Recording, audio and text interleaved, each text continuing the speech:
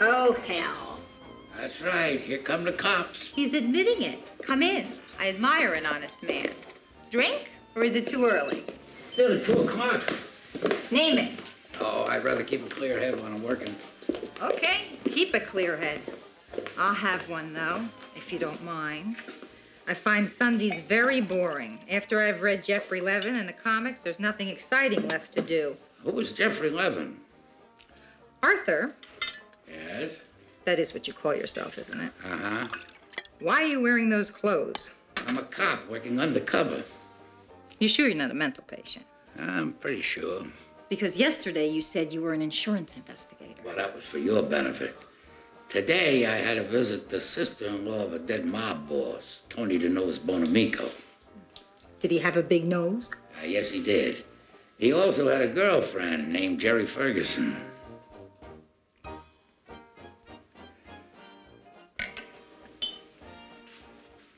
Arthur, Yes? that's a nasty looking bump on your head. Uh, yes, it is. Does it hurt? A bit. It's awful looking. Sit down. What for? I'm gonna make you feel better. Ma'am, I don't think you. That's realize- right, don't think. Sit there, stretch out your legs, relax, close your eyes. Miss. Ferguson, Jerry. Jerry, someone was murdered last night. Who? That man that kept visiting your gallery said his name was Al Reinhardt, and then he said he was Al Randolph. What was his real name? Mo Weinberg. Mean anything to you? No. What's your real name? Lieutenant Columbo. Your first name. Lieutenant. You're putting me on. On Wednesday. How did we get back I to back Wednesday? there. On Wednesday night, two men killed each other in a brawl. Who? That's not important. What is important is one of them had a piece of a photograph in his hand. Are we gonna start that again? I already told you. We have reason to believe that the fragment in the dead man's hand was part of a larger picture showing the location of $4 million stolen from a bank six years ago. We also have good reason to believe that you have another piece of that picture, and we want it. It's as simple as that. What smoked you out, Arthur? What made you drop the phony cover? You afraid somebody else might get killed? It's possible, yes. Me? Possibly. Whoever has a piece of that picture's in danger. For your own safety. Bullshit. I beg your pardon. The day the cops start worrying about anybody's safety is the day. I think we better head downtown.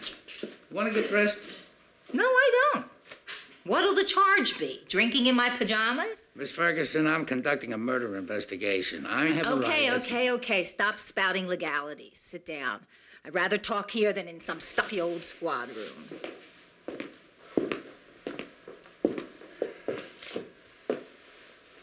Do you have a piece of the photograph?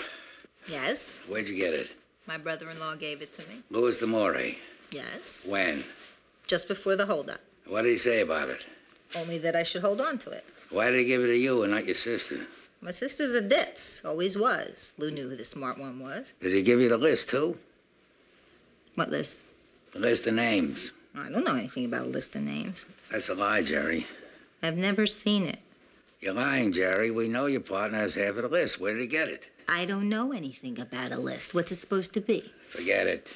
Where's your piece of the snapshot? In the gallery safe. Will you turn it over to me? No. I thought you said I said that I'd you- answer your questions. Okay, I've done that. But the piece of photograph is my private property, and I'll do with it what I wish. Thank you for your time. So where are you going? I'm going to try and find the person that murdered Mo Weinberg. Well, be careful. Lots of people with guns out there. I'll be seeing you again. Sunday afternoons. Any other time, I'm busy. Just one more thing.